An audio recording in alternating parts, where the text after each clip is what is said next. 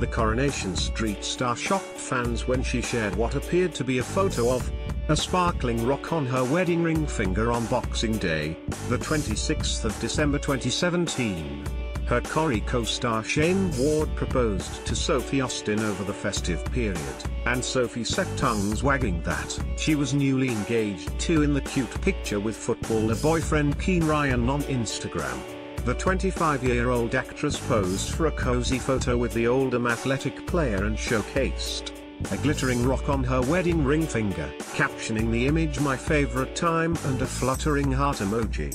However, it's likely her sports star beau, who is on loan from Manchester City, took the picture using their selfie function which would reverse the image, making it her right hand, and not her left.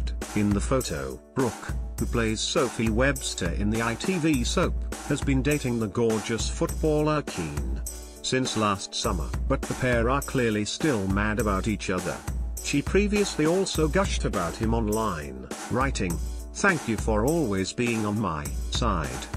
Comma letting me have your last bite and putting up with my clumsiness, forever saying it but you literally do make my day every day, I love you.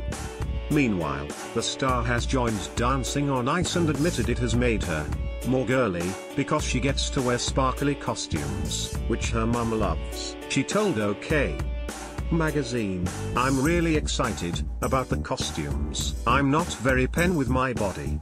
It will be a massive thing for me to wear those costumes. I'm much more a trousers and blazer type of girl, rather than a little dress. My mum can't wait because it's going to make me so girly. I'm the least pink, sparkly person but I've had some pink clothes sent to me with my name on the back in sparkles.